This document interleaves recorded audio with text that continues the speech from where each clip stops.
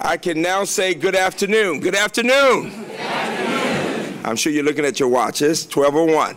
I am Freeman Hrabowski, and I'm delighted to welcome you today. This is our Presidential Faculty and Staff Awards ceremony, recognizing the achievements of colleagues across the campus. Now, please stand for the singing of the national anthem sung by the UMBC Camerata, directed by Stephen Caracciolo. First of all, give them a round of applause for, just for looking so good. A round of applause. I'm telling them that they clean up really well. They really do. Okay. Uh -huh. Oh, say, can you see by the dawn's early light what so proudly we hailed at the twilight's last gleaming, whose broad stripes and bright stars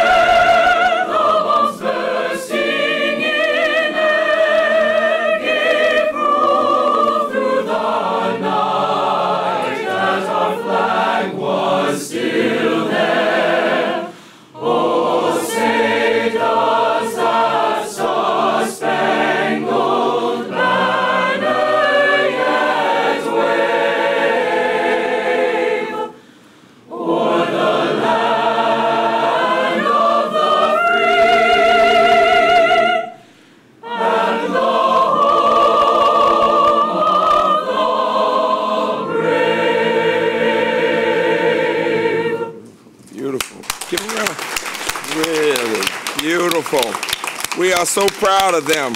Major round of applause. Thank you very much. Very, very much. One more round of applause. They were so good. Round of applause. Yeah.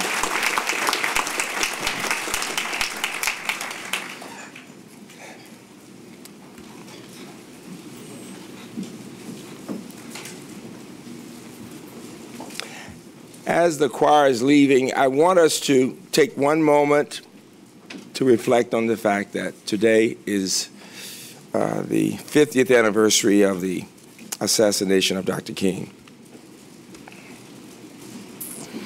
I was a 17 year old sophomore in college, and it was one of the most devastating days in American history.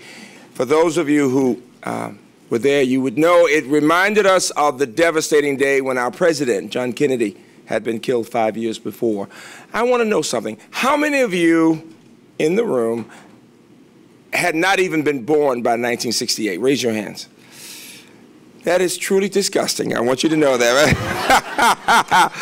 if you were in the world, if you were in the world in, when, when this happened in April 1968, stand up. Let me see who you are. Thank God for you. Thank you very much. you look really good. I want you to know.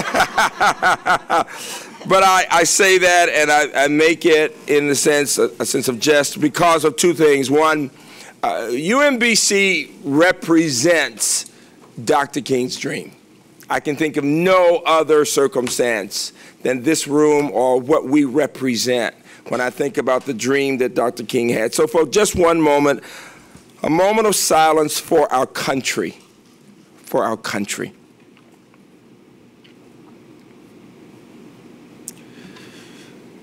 Thank you very much. Thank you. Before moving on, let, let me remind us that nothing in our lives is more important than our families and our friends. And I'm going to ask the families and friends of our award recipients to please stand. Let's give them a round of applause. Please stand if you're family and friends.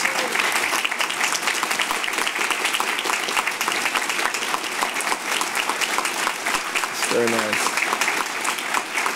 Very, very nice. You know, I, have I've read that for years. It never occurred to me. Recipients, the rest of us are your friends too. We met the friends who came from other places, right? if you think about it, everybody could have stood because you know people in this audience.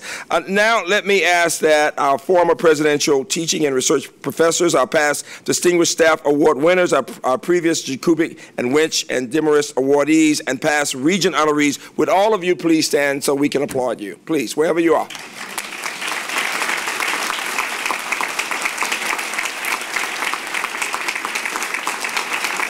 Very nice. Thank you. Our provost, Philip Rouse, and a number of our leaders are were invited to be a part of an innovation leadership team at an alliance in Atlanta today. We are we are very proud that they are there, showing that we're one of the best. And we're delighted that today one of our own, Vice Provost Pat McDermott, will be serving in that role. And so please welcome Vice Provost McDermott to the stage. Please. To the lectern.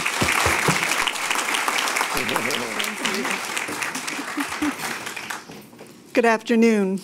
It gives me great pleasure to be here on behalf of the Provost to honor the Presidential Faculty and Staff Award winners. I ask that each awardee stand as I read their introduction. The 2018-2021 Presidential Teaching Professor is Dr. Nicole King, Associate Professor and Chair of American Studies.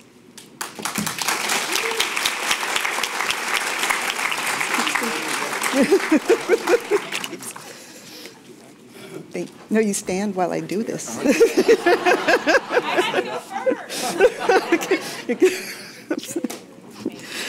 Dr. King's unique approach to teaching and learning creates informed, politically and culturally literate citizens by blending creative in-classroom work with community-engaged pedagogy in a way that helps our students develop a deeper understanding of the city of Baltimore and its residents. Dr. King has taught every required course in the American Studies major and redesigned quite a few. Her students praise her mentorship and invaluable to them in their personal education and professional development. They credit her teaching for influencing their wor world outlook and even their career paths. Please join me in welcoming and congratulating Dr. King.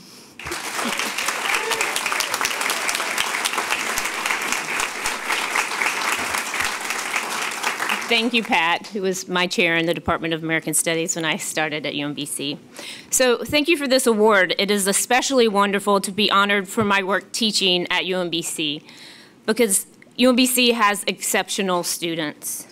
In my decade at the university, I have had the great privilege to take students into Baltimore City to do various research projects working with local neighborhoods, from envi environmental justice projects in Brooklyn and Curtis Bay, to projects on gentrification in the west side of downtown. And I want to mention two things that have supported this work at UMBC. The first is the downtown shuttle. As a carless resident of Baltimore City, a proud carless resident of Baltimore City, I take the shuttle to campus every day that I have come since 2014. And before that, I took the 35 bus. But we don't have to talk about that today, because today's about good things. Um, I could talk a lot about public transportation. Uh, the shuttle enables me to get to campus, but also enables to get my students to the city. And that brings me to the second thing I wanted to talk about the new College of Arts, Humanities, and Social Science classroom in downtown Baltimore at the Lion Brothers building, where at 3.30 I will hop on the shuttle, get off at Pratt and MLK, and walk over to that classroom to teach my students and to work with them on projects about the history and culture of the Hollins Market neighborhood, where that classroom is located in southwest Baltimore. And you can check out at Hollins Market from, uh, from 6 to 11 p.m. on Friday. My students are working with neighborhood partners as part of the Neighborhood Lights program and the Stories of Sowebo. Um, they're also hosting uh, an event on Saturday, May 12th at the Lions Brothers building. You're all invited. So the two most important things that I've learned doing this public humanities work at UMBC, and these are the, the same two things that I talked about on May 1st, 2015, when my college, the College of Arts, Humanities, and Social Sciences, a wonderful college, organized a teach-in on the uprisings in Baltimore in 2015.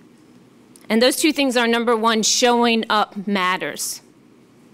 And number two, listening is essential to learning. So on this 50th anniversary of Martin Luther King Jr.'s assassination, I want to quote his words that a riot is the language of the unheard. And to conclude by arguing that we must bring more voices into conversations at our public university today. And we must learn to better listen to one another because that's truly what teaching and learning is about. Thank you.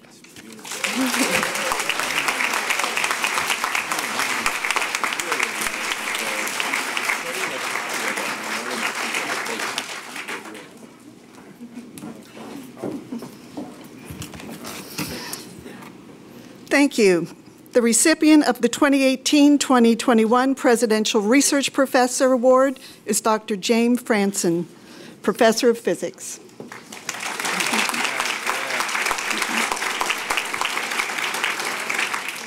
Dr. Franson has been a trailblazer in quantum information throughout his career. His published groundbreaking research appears in textbooks the world over and provides the foundation for all current quantum communication systems. And he continues to inspire researchers around the globe through his major contributions to the field. Please join me in welcoming and honoring Dr. James Franson. Very nice. Thank you very much. Thank you. Well, Good afternoon. I'm uh, very uh, honored to receive this award. And uh, unfortunately, it's not quite as um, exciting or prestigious as being on the basketball team and going to the NCAA tournament. Uh, but research itself is exciting in its own way, and uh, UMBC is a great place to do research. Uh, I hope that this award might help to uh, make our research more uh, better known around campus. So I'd like to thank uh, Mike Hayden for nominating me, and I'd like to thank my wife Leslie for all the support. Thank you.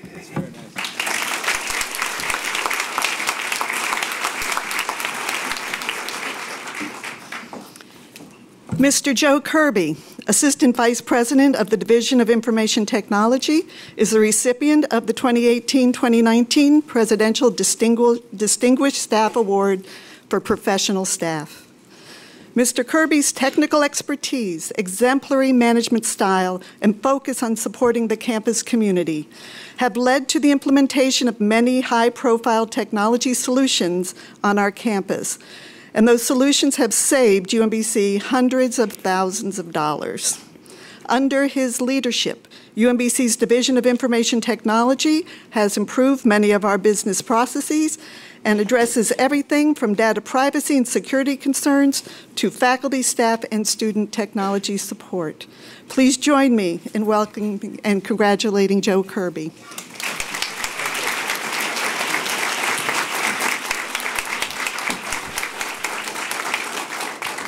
Thank you very much. Um, it was both a surprise and an honor to get this award. Um, like the Academy Awards, I would like to just take a moment and thank those who really made this possible for me. Um, first of all, my God for all the blessings that He's bestowed upon me. My mom for instilling a good work ethic. My wife for an unwavering support, encouragement, and patience. UMBC leadership for unbelievable support from the president down. Greg Bean for giving me the opportunity, mentoring me in my first 10 years. Jack Suess for challenging me to be more than I would have thought possible, yet always promoting work-life balance and compassion over our 20 plus years together. My team. Like many at UMBC, I am blessed with a wonderful staff. While it is difficult to not mention each and every one of them, I would like to recognize two in particular that have stood out as my anchors over the years. Kevin Joseph, my very first full-time hire in 1986, and now Director of Business Intelligence for DoIT. Todd Hadaway, one of my first student interns in 1987, and now Director of Enterprise Database, Identity, and Access Management. Last but not least, the UMBC community. My success is so tied to the collaboration and cooperation I receive from our faculty, staff, and students. Thank you very much.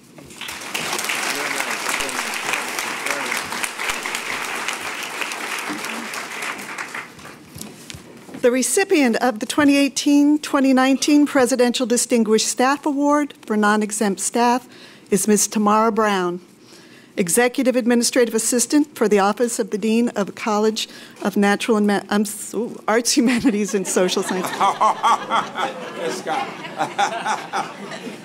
Congratulations, Bill. You- I know.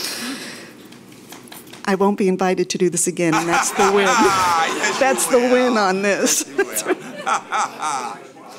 Miss Brown is dedicated to serving the campus and its partners with the utmost exceptionalism. Her extensive knowledge and mastery of administrative processes and procedures has been instrumental in supporting the academic functions across the College of Arts, Humanities, and Social Sciences. Ms. Brown is praised for her leadership and guidance, coordinating all aspects of the promotion and tenure process, consistently helping faculty across the college navigate this complex and often stressful procedure. She also contributes to the work of the entire institution with her generosity and expertise. Please join me in welcoming and honoring Ms. Tamara Brown.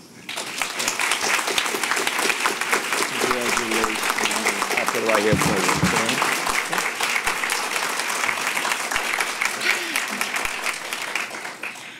I just want to thank everyone. I was pleased, honored, and humbled to receive this award. Um, I'm grateful for the recognition, and I want to thank Dr. Casper and the entire Dean's Office for nominating me, and everyone who supported my nomination along the way. Finally, I want to thank my family who have put up with my late hours at UMBC. thank you.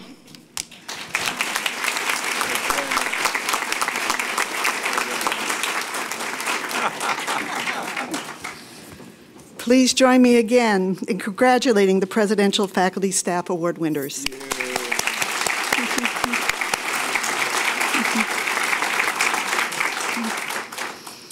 Dr. Amy Froide, Professor of History, is the recipient of the 2018 USM Board of Regents Faculty Award for Excellence in Teaching. Dr. Froide's innovative and interdisciplinary courses instill in her students the excitement of historical discovery, and her multifaceted lessons epitomize the distinctive undergraduate experience at UMBC. She is known for her creative writing assignments that engage students in new ways. She was the founding director of the interdisciplinary minor in entrepreneurship and innovation, and many of her students have gone on to competitive PhD programs and have won prestigious awards. Please join me in welcoming and congratulating Dr. Amy Froide.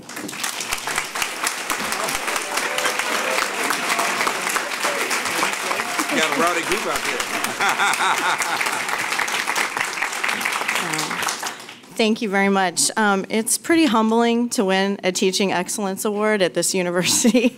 um, um, I come from a, a department, uh, the Department of History, of fabulous teachers, um, a college, the College of Arts, Humanities, and Social Sciences, uh,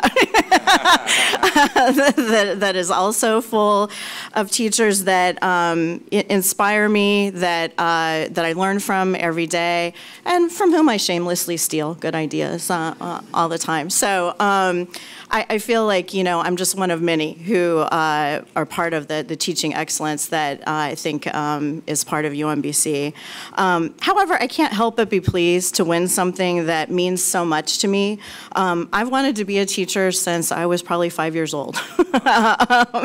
And, well, except for a brief fascination with archaeology, but my family pointed out I hated dirt, so I thought teaching would, would, would, be a little bit easier, maybe.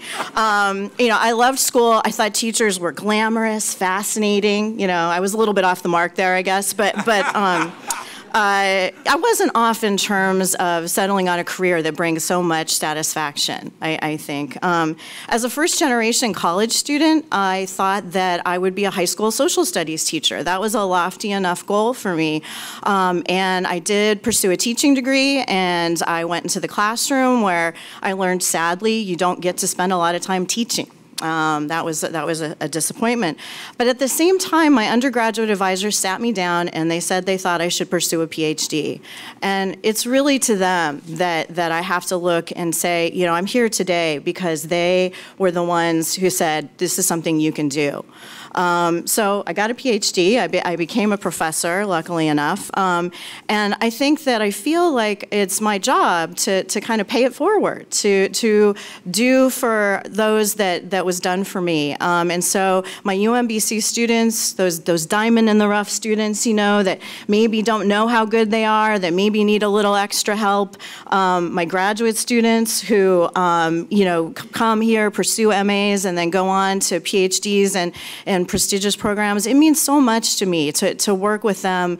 Uh, it's, it's really uh, giving to me as much as it is giving to them. Um, But I think I want to dedicate this award to all teachers, um, especially at this time in, in um, our history. I think it's one of the toughest and one of the most rewarding professions, but it's not a profession that always gets rewarded, um, remunerated fairly.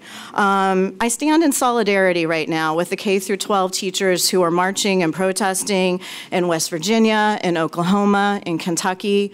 Uh, hoping that they can just deserve a dignified wage for, for the important work they do. And I stand with my university colleagues in the UK who you may not know are all on strike right now because their pensions have been cut. Um, the one thing that they thought would reward them for uh, a career of devotion to their students. So I hope for a day when, when all teachers will be honored and I appreciate the fact that, that I've been honored today. I want to say thank you to my department for nominating me. Um, thank you to Kate McKinley of the Honors and Awards Committee who worked so hard on my Regents packet. And thank you to my family who are here today.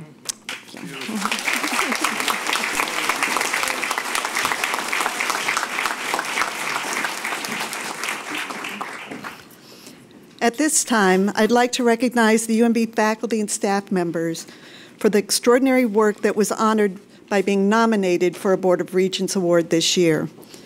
If you're here, please stand as I call your name. Dr. Scott Farrow, Professor of Economics. Dr. Carolyn Forestiere, Associate Professor of Political Science. Dr. Thomas Gindling, Professor and Graduate Program Director in Economics. Dr. Wei Dong Zhu, Professor of Mechanical Engineering. And Ms. Ms. Anna Gostin, Business Services Manager for Facilities Management and Ms. Andrea Lorick, Business Service Specialist for Visual Arts. Please join me in giving them a round of applause.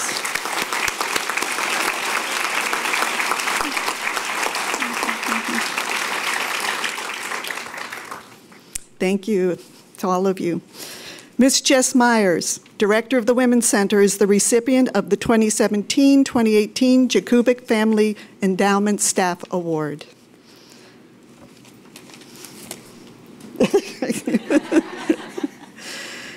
Ms. Myers is committed to diversity and inclusion at UMBC. She has created and developed innovative social justice programs and resources for students, faculty, and staff that target critical issues, including sexual assault, relationship violence, and gender equity. Ms. Myers' work explores social justice in both theory and practice, and she has led many, many meaningful dialogues and poignant teachable moments on our campus. Please join me in welcoming and honoring Ms. Jess Myers.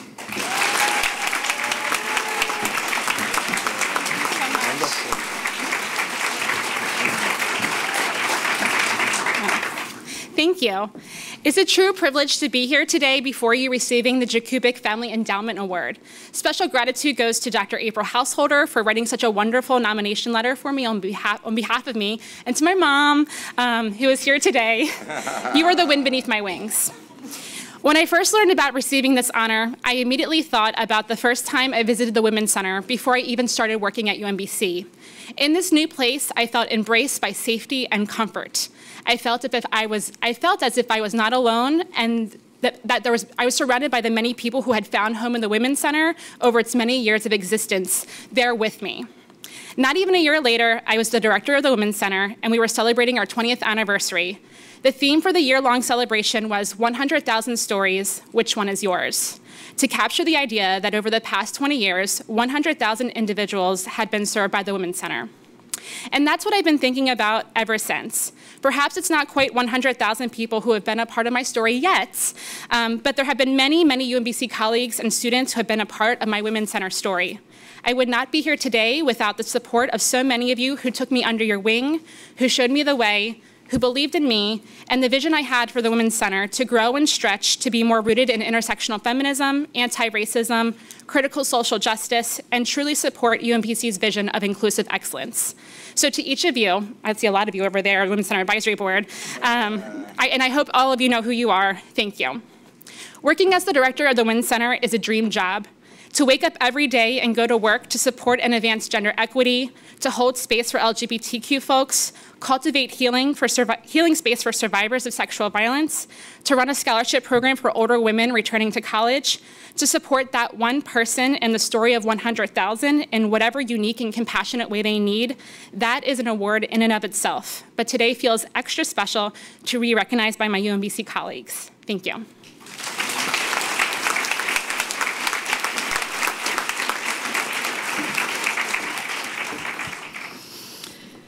Mr. Victor Fulda, lab technician for chemical, biochemical, and environmental engineering, is the recipient of the 2017-18 Karen L. Wench Endowment Award for Outstanding Non-Exempt Staff. Oops, there you are.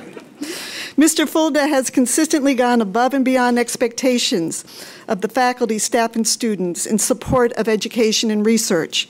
He has worked tirelessly to support chemical, biochemical, and environmental engineering and other departments across the campus with his technical expertise and knowledge as specialized lab equipment expert. Mr. Fulda's creative approach to lab design, coupled with a deep understanding of equipment and fabrication, has saved the departments across the campus thousands of dollars. Please join me in welcoming and congratulating Mr. Victor Fulda.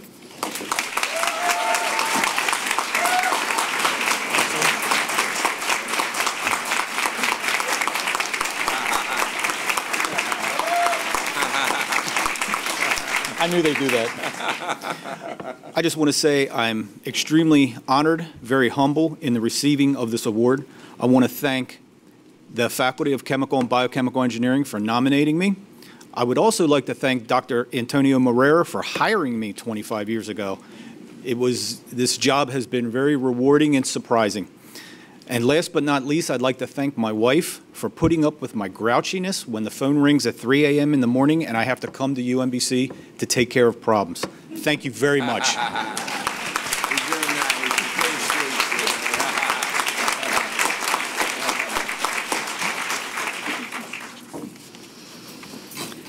Dr. Phyllis Robinson, Professor of Biological Sciences, is the recipient of the 2017-2018 Marilyn E. Demarest Award for Faculty Advancement.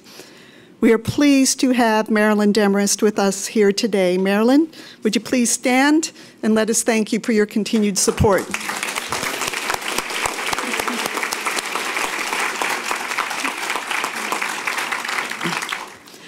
Dr. Robinson is a staunch advocate for women faculty in STEM and a strong supporter of professional growth and tenure for women and underrepresented minorities at UMBC. She is heavily involved in the mentorship of faculty in the biology department and across the campus and has dedicated herself to supporting faculty development and addressing the challenges of women and underrepresented minorities, transitioning to full professorship. Please join me in welcoming and honoring Dr. Phyllis Robinson.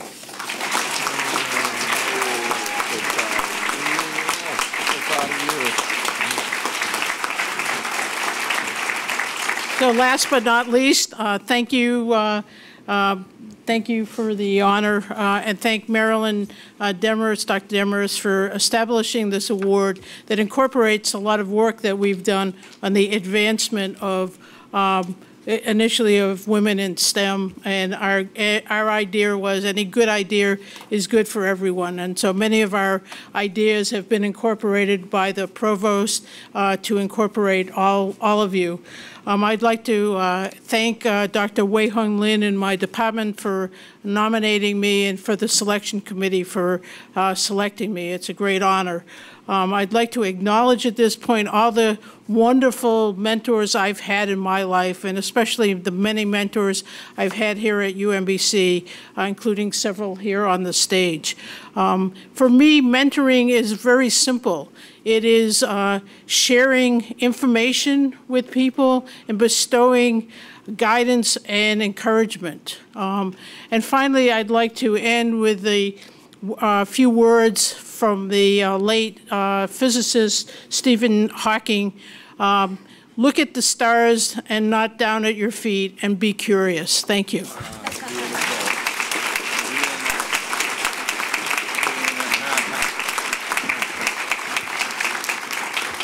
Thank you, Phyllis.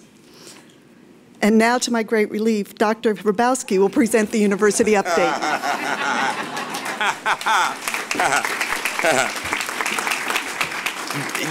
Would you give Vice Provost McDermott for her great humility? We love her. We really do. We really do. She's amazing. Now, before I begin this update, this is such a special day. I want us to give a standing ovation to all of the awardees today. Would you get up and give them a special standing ovation?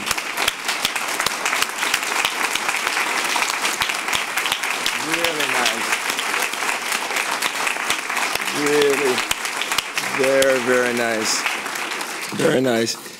This is a, a, special day, and I am to give an update, and I'm going to make it fairly brief because you'll be able to read it, but I just want to highlight a few things. Uh, this ceremony gives us this chance to say that people matter here. And we heard from looking up at the stars, not at your feet, to speaking on behalf of the voiceless, and to understanding in this pastoral set setting that we have a responsibility in Baltimore which is reflective and symbolic of so much more in terms of the possibilities of our children from all backgrounds, to quantum physics, right? All the way to appreciating that in our own country, excuse me, in our own country right now, people are questioning so much of what we do, whether it's our children who are saying to us, shame on us for not keeping them safe, whether in Baltimore City or in schools in all parts of the country, to the disgrace of not paying teachers, of not understanding they have the most noble of profession, K through 12 and university professors. And so we do stand united with those groups. It is, significant and in other countries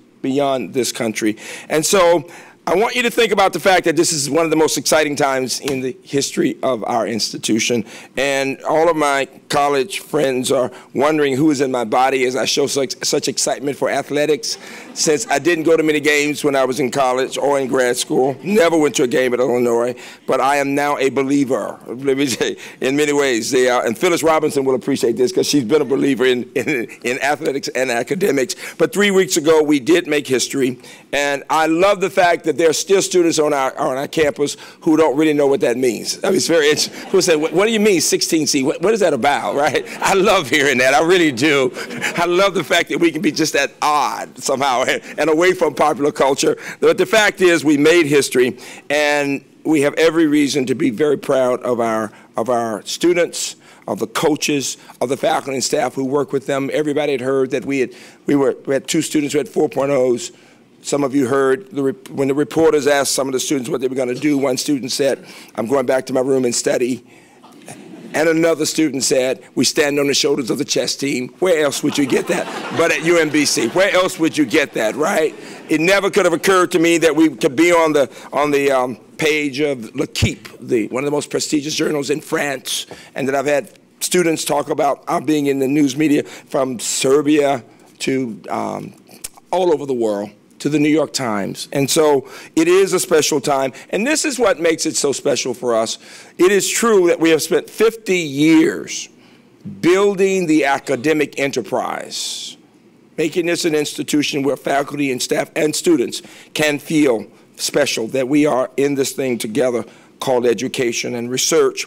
But it is true that within two hours, our fate, our identity changed in many ways. And in this way, particularly, that the public began to know who we were. Because as much as they may have known in this region, and we know that in our academic circles, whether it is in history circles or in science physics circles, that our colleagues know about us in the disciplines, that in the, in the administrative areas, people know about us, but the broad public. Most people don't realize two-thirds of American families have never had anyone go to college. And so while we may assume the, the people know us, it was not the case. But the best news of all is that we had prepared well. And so when the New York Times looked at us, or the Washington Post, or the Baltimore Sun, or any others, what they saw when the light was shining on us, when after people said, who is UMBC? They saw substance. They saw gravitas. They saw values. They saw a basketball team that could read well and speak well. And they saw in the audience people from all races, amazingly, unlike the other institutions, not just on the court, but among the dancers and the cheerleaders and the alumni and the faculty and the staff, we are so unusual that we don't even realize it. That we're one of the few places, and I'll say it again as a child leader with Dr. King, one of the few places I know in this country that is truly reflective of the dream that people had in the 60s about what might happen in our country as we work for people with people from around the world and people from all backgrounds here. And so this is that special time. It is a time when the people in OIA and across the campus are working to see how do we take advantage of this. So many of our administrators and staff and faculty worked really hard during these weeks to make sure that our brand was one that spoke to academic excellence. Give all those people a round of applause.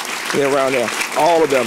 Greg and Lynn, all of you. It's very nice. And it has been amazing to hear faculty and staff complimenting us and realizing it didn't just happen. Uh, that we, it could have been very easy that we have won and we'd not have taken advantage, or that people misunderstood who we are. So people do get it, and that's why I think the idea of hearing about everything from what we do for the List to quantum physics, that's reflective of who we are as a university. We make history. We made history when we had our first Rhodes Scholar this year. Give Naomi a round of applause, will you?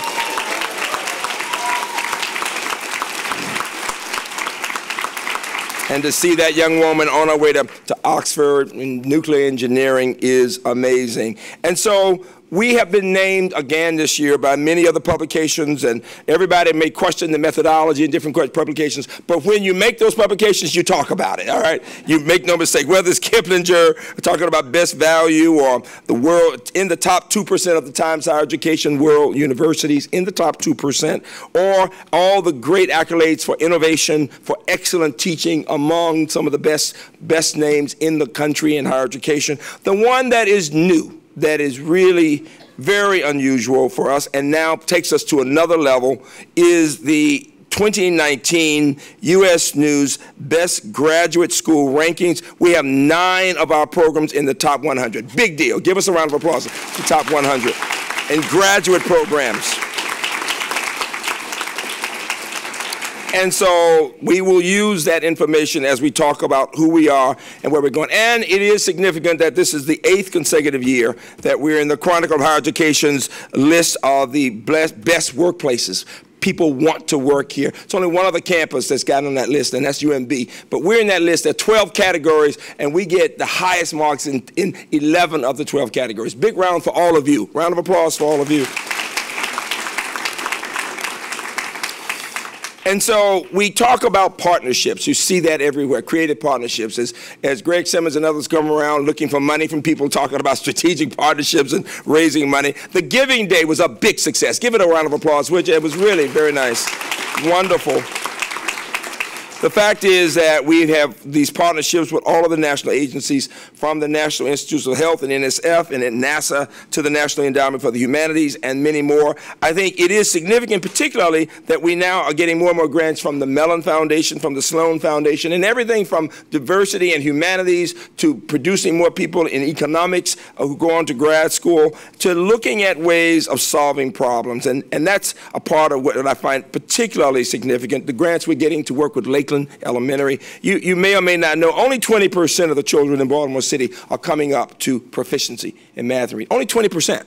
And the fact that our Sherman Scholars and others are working with the teachers, many of whom are graduates of, of UMBC, and that we've gotten that school that is 90% free lunch.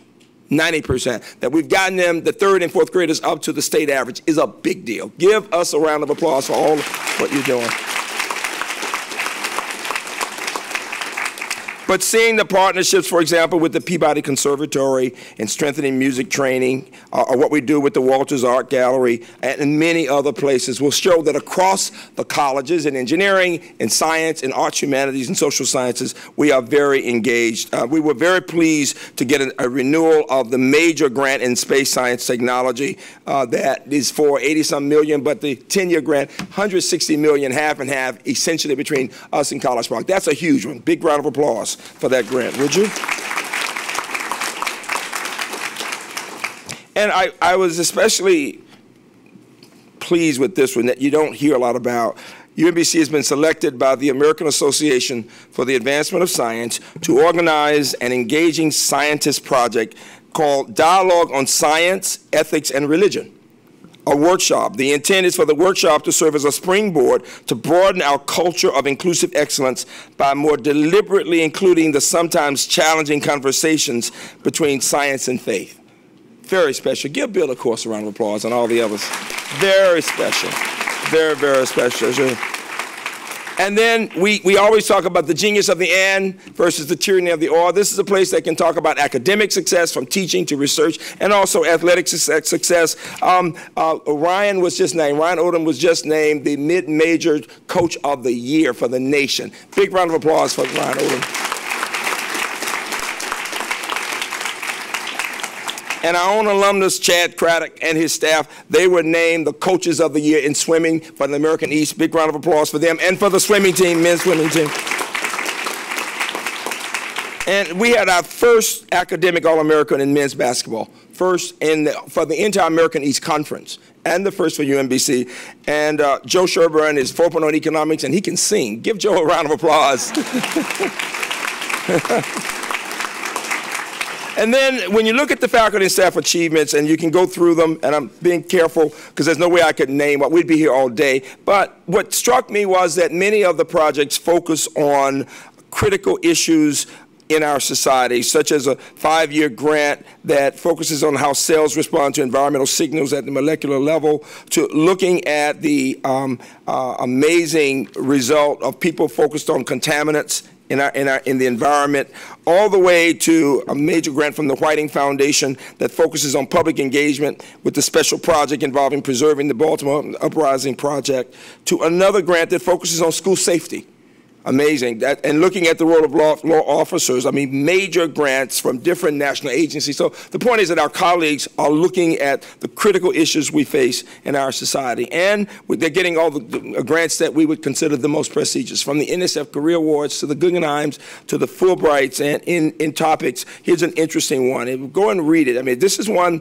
that is collaboration with psychologists at the University of Palermo in Sicily to explore Muslim Tunisian immigrant adolescent identity development okay? Uh, looking at their development, their civic engagement, and positive youth development, and risk behavior engagement. And so for when looking at projects in this country and around the world, we've got so many faculty focused on all those areas. And then finally, in terms of student achievements, we actually have nominated 16 of our students for Fulbright this year. We expect a lot of them to get it. We just learned yesterday that we received, that we've had nine students given the very prestigious NSF graduate um, uh, fellowships. Big round of applause for all those involved with that. And I purposely not call names. I'm just going to call one name, and it's it because it is it's such a special achievement, and it is something we need to be highlighting as we thought, think about who we are. And this is a senior dance major, uh, Maya Schechter, and uh, Schechter, yes, and she has a, a piece called Now Elsewhere. But she's been selected to perform at the American College Dance Association National College Dance Festival at the Kennedy Center in June. Give her a round of applause. It's huge.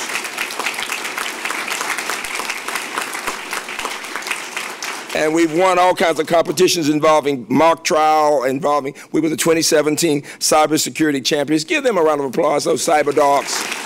2017.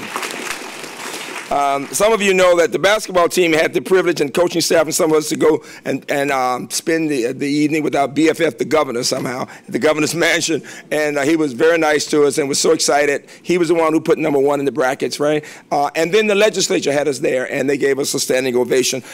Make no mistake, that athletic success has already resulted in additional funds for the university, millions of dollars from the legislature, because it is what it is. When the state gets extra attention because of something like this, uh, it brings the kind of pride and excitement that can make such a difference. Uh, and then going back to the academic side, just a couple of, of, of just uh, our, our, the Surgeon General is a UMBC graduate. Uh, from Mechanicsville, Maryland, came here at 17, and um, he is uh, he is making a name for himself and for the country. And he said something very special in talking with Congress. He said, when it comes to life and death, uh, we get above politics. We do the right thing. Give Jerome Adams a round of applause.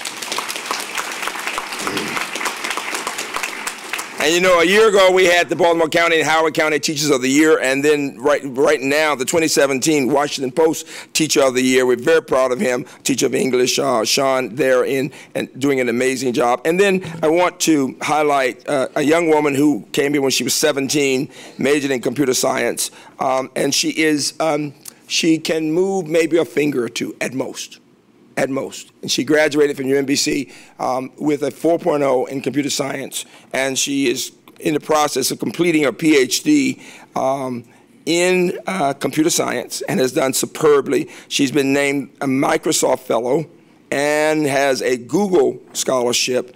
And if you've not seen it, she focuses on what she's built, which is a teleoperated mobile robotic prototype that seniors and people with disabilities will be able to control by repositioning their arms and legs. And I think we were all just in awe when uh, Janet Rutledge, maybe when we had the PhD completion project, and it was the candidacy, and she was admitted to candidacy, and she came across stage, and we congratulated her, and she looked out and was able to talk to the audience. Now, this is in the robot. She's actually at home in bed, okay? But that robot where she is, she can look at you, she can talk, um, has been all over the world giving presentations. So she's changing the way we think about disabilities and the ways in which people can be empowered to do more. Give Kavita a round of applause, would you please?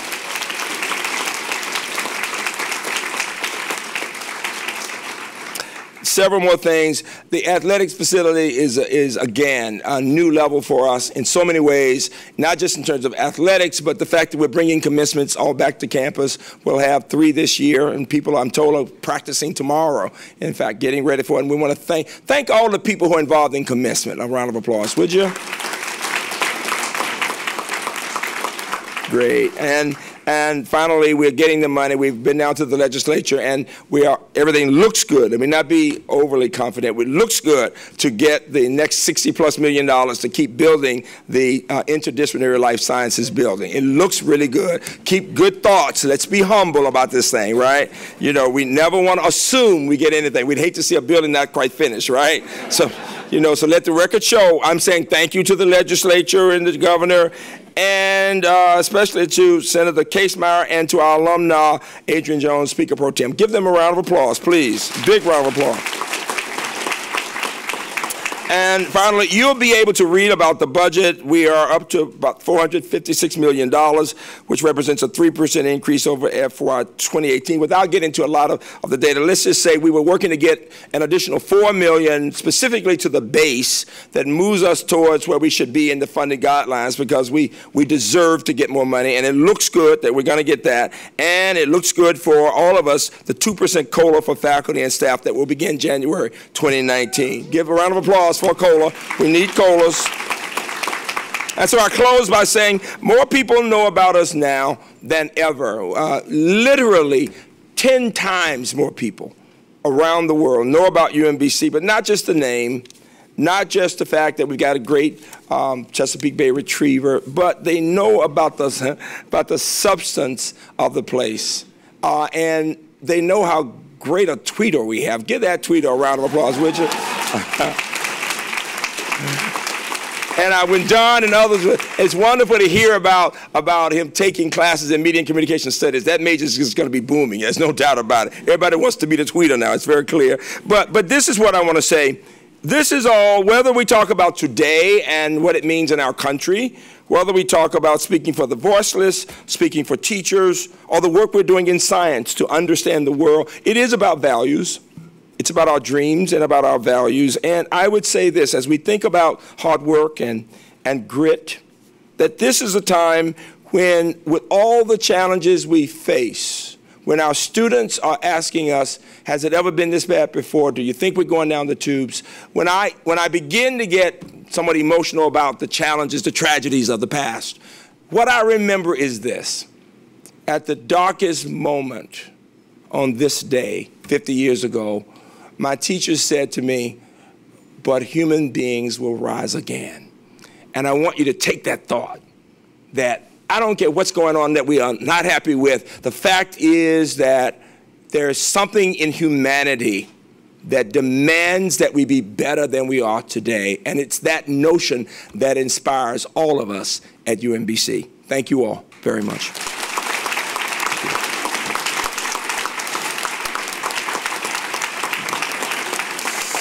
And now let us rise and stand and sing the alma mater. And please don't leave. Please don't leave. We've got to teach students that when the alma mater comes on, everybody stands out of respect for the institution and for ourselves. Please, and you can find it written there in the program. Alma mater, are you MBC? Boldly bearing the colors, whole world to see,